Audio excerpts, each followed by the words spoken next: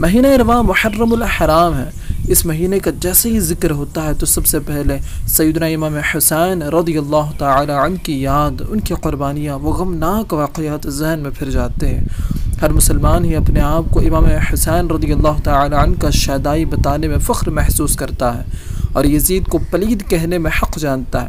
پر تعجب ہوتا ہے ان پر جو آج بھی کھلم کھلا یزید کو اچھا کہنے اور اس کی پلیدیت کی حمایت کرنے میں لگ جاتے ہیں۔ یعنی وہابیہ ماڈرن اہل حدیث، غیر مقلدین ائمہ، مگر مقلدین یزید و دیگر خبصہ ہیں۔ یزید کو اچھا ثابت کرنے میں اتنی حد پار کر جاتے ہیں کہ خود امام حسین رضی اللہ تعالی عنہ پر اپنی زبان دراز کر جاتے ہیں۔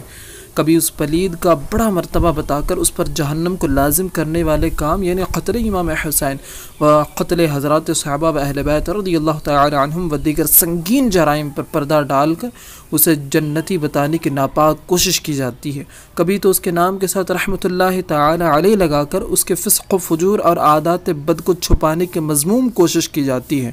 یعنی اگر کوئی یزید کہہ دے تو کوئی گناہ بھی کوئی حرجہ نہیں ہے۔ اور یزید رحمت اللہ علیہ گئے تب بھی کوئی پھر بھی ہم اس کو گناہ نہیں سمجھتے۔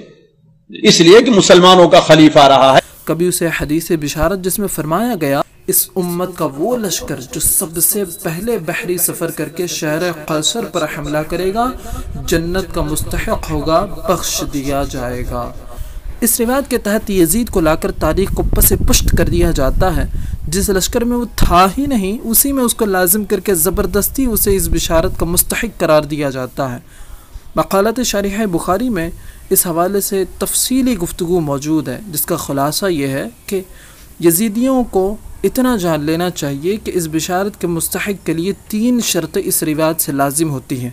پہلی شرط یہ کہ وہ شہر قیصر پر حملہ کریں۔ اب یہاں بعض قسطنطنیہ مراد لیتے ہیں، حالانکہ اس حدیث میں قسطنطنیہ کا ذکر ہی نہیں، مدینہ قیصر مذکور ہے۔ اس کا ترجمہ و مطلب کسی لغ کی کتاب میں قسطنطنیہ نہیں، قیصر کے حدود سلطنت کا کوئی بھی شہر مدینہ قیصر ہو سکتا ہے۔ دوسری شرط یہ کہ وہ پہلا لشکر ہو جو اس شہر پر حملہ کرے، جبکہ قیصر کے شہر پر سب سے پہلا حملہ خود حضور اقدس صلی اللہ علیہ وسلم کے عہد مبارکہ میں آٹھ ہجری جماعت الاولا میں ہوا، جس کا نام غزوہ موتا ہے۔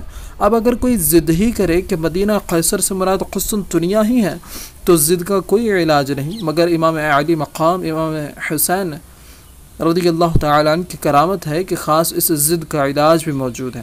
حدیث کی یہ بشارت اس لشکر کے لیے ہے جو سب سے پہلے حملہ کرے گا اور جس لشکر میں یزید شریک تھا، وہ قسطنطنیہ پر حملہ کرنے والا پہلا لشکر نہیں تھا۔ پہلی بار حضرت سیدنا عثمان غنی رضی اللہ تعالیٰ عنہ کے دور حکومت میں بتیس ہجری میں ہوا۔ دوسری بار فورٹی تھری ہجری میں، تیسری بار فورٹی فور یا فورٹی سکس ہجری میں۔ اس طرح چوتھے یا پانچویں بار کے قسطنطنیہ کے جنگ میں فورٹی نائن ہجری یا اس کے بعد یزید قسطنطنیہ کے جنگ میں شریک ہوا اور پھر تیسری شرط کہ وہ لشکر بحری سفر کر کے حملہ کرے۔ حالانکہ یزید خشکی کے راستے سے گیا تھا تو واضح ہوا کہ یزید پہلی بار کے حملے میں بالکل شامل ہی نہیں اور نہ ہی وہ بحری راستے سے گیا۔ اب یزیدی ہی بتائے کہ حدیث بشارت کا مستحق کیسے وہ قرار پائے گا۔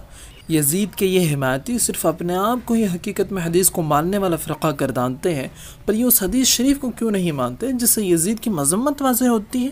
امام بخاری رحمہ اللہ کے استاد امام ابو بکر بن ابی شیبہ رحمہ اللہ نے اپنی مصنف میں ایک روایت درج فرمائی کہ حضرت سیدنا ابو ذر غفاری رضی اللہ تعالیٰ عنہ سے مروی ہے کہ نبی کریم رعف الرحیم صلی اللہ تعالیٰ علیہ وآلہ وسلم کا فرمان ہے، سب سے پہلے میری سنت کو بنو امیہ کا ایک آدمی بدلے گا۔ اس روایت کو غیر مقلدوں کے محدث لاسانی جناب البانی نے ہی حسن قرار دے دیا۔ بالکل انہی الفاظ اور اسی طرح کے مضمون کے ساتھ چند مزید روایت موجود ہے جس میں بنو میہ کے اس شخص کے حوالے سے فرمایا گیا، یقال له یزید یعنی اس کا نام یزید ہوگا۔ ان غیر مقلدوں کے گروہ میں سے ایک طبقہ ہے جو اپنے آپ کو سلفی تو کہتے دکھائی دیتے ہیں، پر حقیقتاً سلف جو موقف یزید کے معاملے میں رکھتے ہیں، وہ تو ظاہراً اس کے مطابق نہیں۔ امام زہبی رحمہ اللہ تعالی اپنی تاریخ میں تحریر فرماتے ہیں کہ سیدنا عمر بن عبدالعزیز رضی اللہ تعالی عنہ کے سامنے کسی نے یزید کو امیر المؤمنین کہا۔ تو آپ رضی اللہ تعالی عنہ نے اس سے فرمایا، تم یزید کو امیر المؤمنین کہتے ہو؟ پھر اسے بیس کوڑے مارنے کا حکم دیا۔ سلف تو یزید کے لیے امیر المؤمنین جیسے کلمات پر ہی راضی نہ تھے۔ مگر ایک سلفی توقع اس کے نام کے ساتھ رحمۃ اللہ تعالی علیہ جیسے تعریفی کلمات لگا کر اسے تابعی کہنے کی کوشش میں بدمست ہے۔ حیرت ان لوگوں پر بھی ہوتی ہے جو ان نا اہل حدیثوں کی اتنی کھلی ضدیت کو دیکھ کر بھی ان لوگوں کو نہ ہی کچھ کہتے ہیں، بلکہ کہنے والوں کو بھی روکتے ہیں کہ کسی کو برا نہیں کہنا چاہیے۔ یا پھر اس طرح کی بولی اٹھا لیتے ہیں کہ سب اچھے سب برابر ہیں، ہمیں نہیں معلوم کون حق پر ہے۔ وغیرہ صلح کلی اصولوں سے اپنی لا علمی ثابت کرنے میں بڑے آگے نظر آتے ہیں۔ اس طرح کے بد مذہبوں کو چونکہ اپنے یزید سے پیار تو اٹھائے اللہ تعالیٰ ان کو قیامت میں اسی کے ساتھ۔ بس ہم اہل سنت امام حسین کے شدائی ہیں۔ ہمارا نعرہ یہی ہے کہ ہم حسینی تھے اور ہے اور رہیں گے۔ اور ہم دعا بھی یہی کرتے ہیں کہ رب تعالیٰ قیامت کے دن ہمیں امام حسین رضی اللہ تعالیٰ عنہ کے ساتھ اٹھائے۔